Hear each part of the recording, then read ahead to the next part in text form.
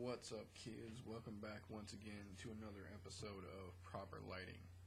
This time we're going old school. We're going back. We're going way back. So far back, I'm talking the beginning of the concentrate days for me. The first time I got into oils and waxes. Old school method: you use a piece of a cigarette. I know cigarettes aren't healthy, but we're going to use it for a good way here. You take a paper clip and you unbend one end. So you've got just a regular paper clip with a straight arm. You're going to stab the cigarette piece in the end, put it all the way through. So you get a little cigarette kebab. What you do is you'll bend this up. You're going to make a little stand by bending the bottom out like that. You can even bend it further, bring that one over. What this is going to do is going to burn the cigarette down clean and leave you a nice bed of ash. And you're going to take that bed of ash, and a little bit of uh, tasty oil here, and another uh, paper clip that I use to dab oil with a lot. That's already bent up with a little end on it. Drop a little oil in this. You light the ash, and the ash will actually burn all by itself. When I was originally taught, was taught to use a McDonald's straw. And you just put it right over the oil spot on the ash, and you can pull it right through. But that's, you know, a little low tech and a little old school, so I stepped it up a little bit. I've got a glass on glass connector with a giant orange boost bowl that came with the tube. You can't really use it for a bowl because, as you can see, it's completely hollow. The size of the neck, completely hollow. And the uh, open top oil dome makes for a great mouthpiece in this situation. The oranges really look cool when you're getting the vapor coming through.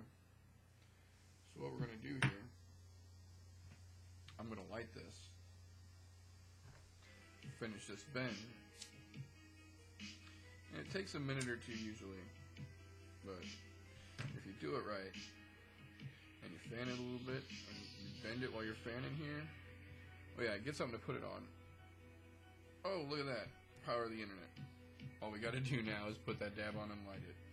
There we go.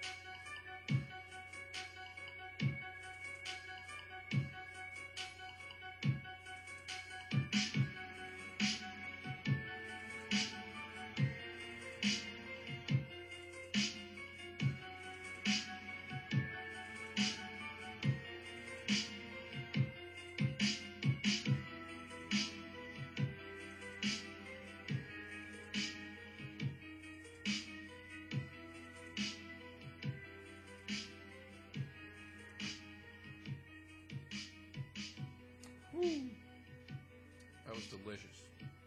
Just a little something old school, not many people do anymore.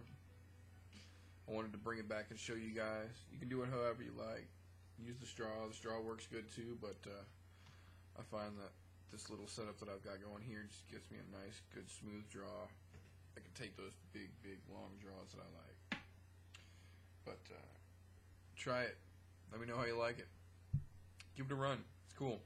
It's old school. Something not a lot of people do anymore. We're going to call it good for now. Until next time, stay educated, stay medicated, keep it concentrated. Peace.